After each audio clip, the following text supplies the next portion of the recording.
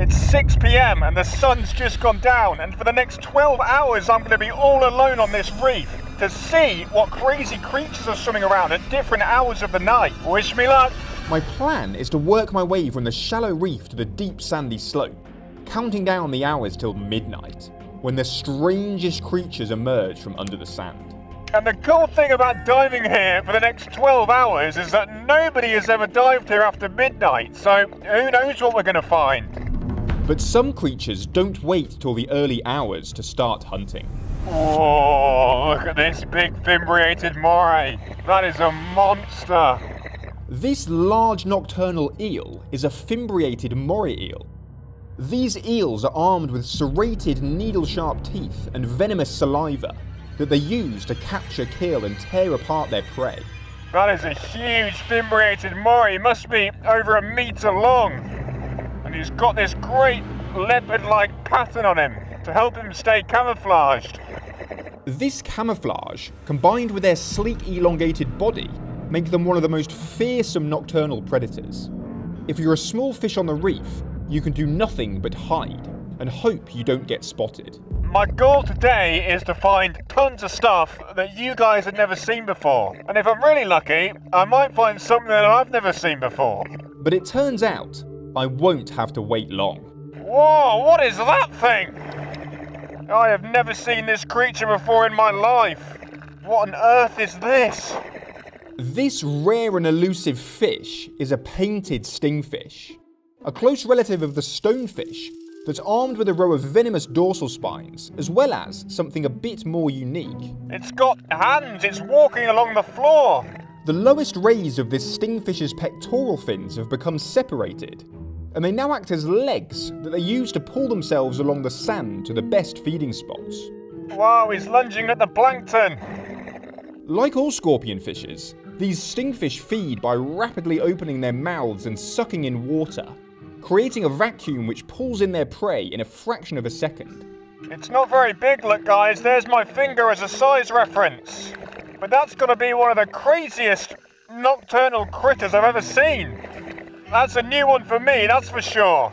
But the stingfish isn't the only venomous nocturnal predator I found that I haven't seen before. Check out the colour difference on these two lionfish. We've got a very reddy brown one here, and then a completely different coloured one, a yellow one. I have never seen that before. And the cool thing about these two lionfish is that although they're completely different colours, they're actually the same species. The prevalence of the yellow variety here suggests it offers an advantage.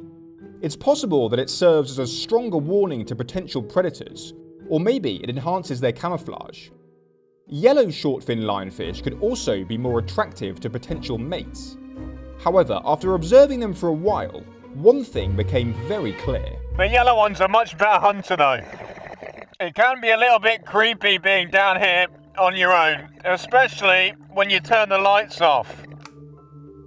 Yep, that's pretty weird. I've got no idea what's around me now. Alright, that's enough. Let's turn it back on.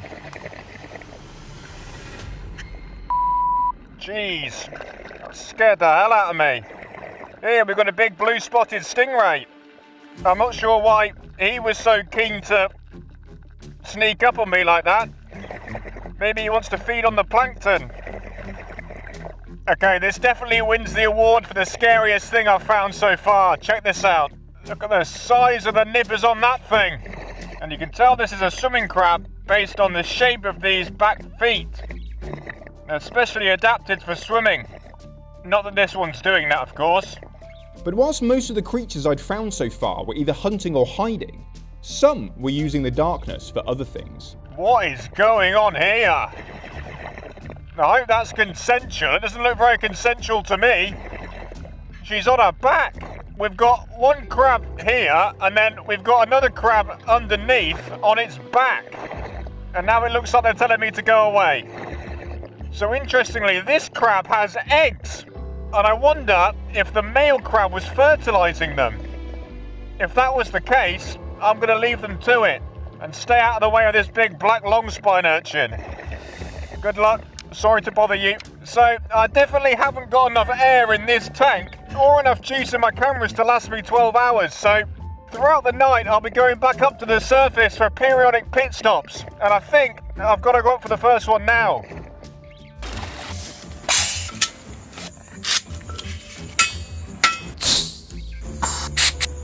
Got some fresh batches in the camera, fresh tank from the back.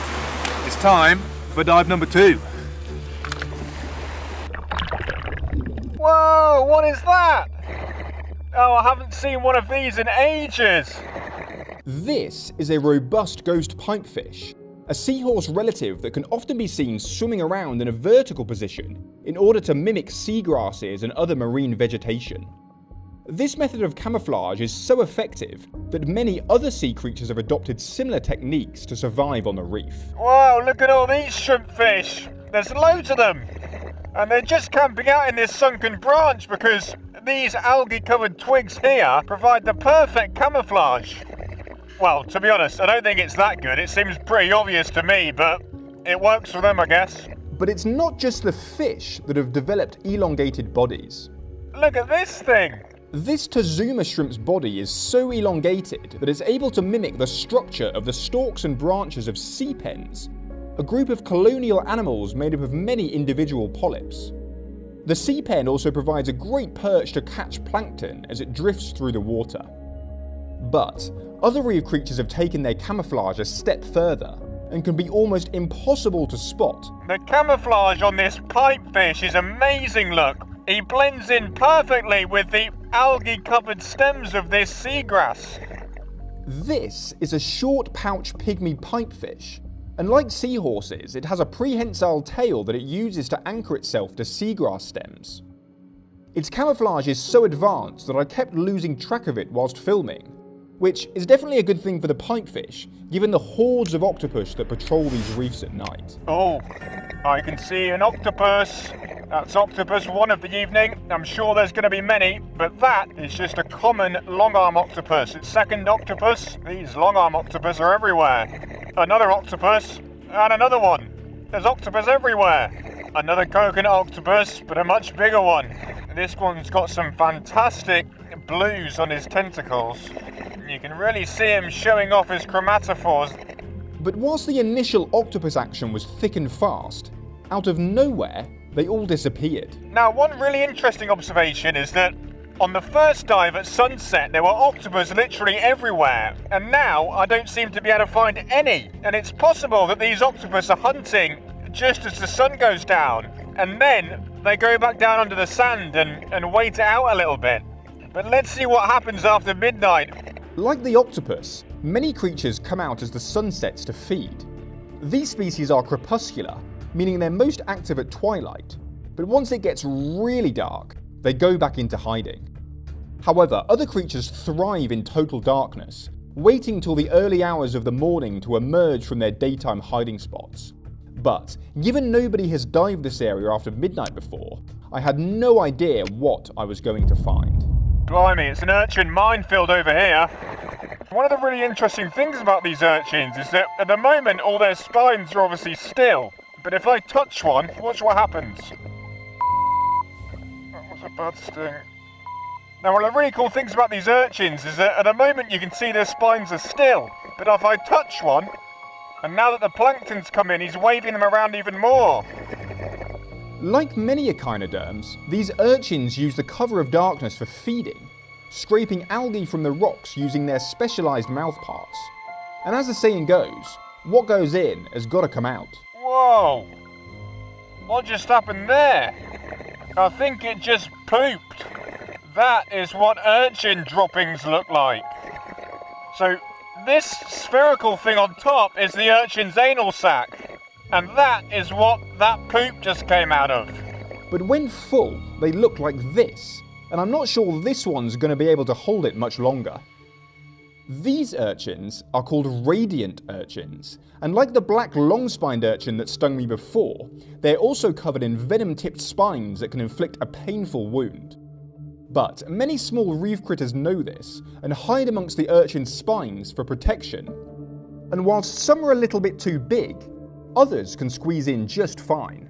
Oh, wow! Look at that thing! So I think this is a really tiny coconut octopus that's probably just come out of its planktonic phase and is now roaming around on the ocean floor. And you can't really see it in the video, but he's sort of semi-transparent. Oh, and now he's coming to say hello. Oh my word, he's on my lens. That's crazy. Come on, buddy, off you come. Come on, come off. You can't be on there. Come on, no, and now he's stuck to me. Come on, back down to the sand. And that, guys, is a tiny little coconut octopus. And he's very friendly, it seems. Excuse my shriveled hands, I have been down here for quite a long time. You can see his legs look, but they're almost see-through. And now, as all coconut octopuses do, he's buried himself under the sand. But octopus aren't the only cephalopod that comes out to hunt after midnight. Whoa, squid! He just attacked the torch, and now he's coming for my camera. There he goes, look. Oh, there's another squid. Oh, oh, there's three. God, one of them's going to ink me, surely. There we go. There's the ink. And they eject that ink to confuse predators so they can get away safely. In the dead of night, most creatures are either hiding or out hunting. But for some critters, the early hours are a great time to upgrade their armour. Oh, well, this is really cool. I've never seen this before. Like all shrimps, these broken back shrimps have to molt their exoskeletons periodically in order to grow. This one is just about to squeeze out of his old armour.